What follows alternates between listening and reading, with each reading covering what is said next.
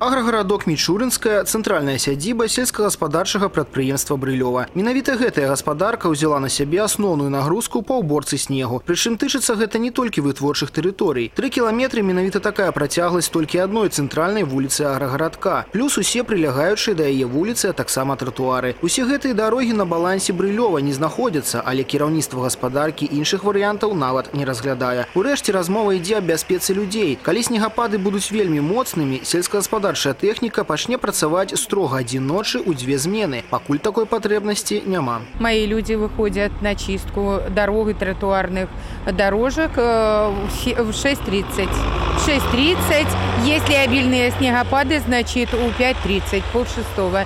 То есть, э, чтобы рабочие шли э, на производство, дорожка уже была почищена. Але і тэхніка, якой кампактнай яна б не была, навесці парадак можа не ўсюды. Піянеры цімураўцы і валанцёры руху добрае сэрца абласных арганізацый БРПА і БРСМ у гэтыя дні не толькі ўбіраюць ад снегу школьныя тэрыторыі, але і аказваюць дапамогу адзінокім пажылым людзям. В связи с неблагоприятными погодными условиями волонтеры и пионеры Брилевской средней школы организовали штаб быстрого реагирования для оказания помощи пожилым людям, а также трудовой десант, который всегда готов прийти на помощь. Жыхарка аграгарадка Мічурынская Людмила Бусіла падчас вялікай айчыны разам з бацькамі дапамагала партызанам. У мінулым годзе ветэран адзначыла 86 год нараджэння. Кажа, што самой ачысціць двора снегу ўжо складана, а з дому выходзіць неабходна. Членам валанцёрскага атраду брылёўскай сярэдняй школы, каб выканаць гэтую работу, спатрэбілася менш за гадзіну. Олег Сенцюроў, Дмітрий Котаў, Александр Харлампаў, тэлерадыёкампанія Гомель.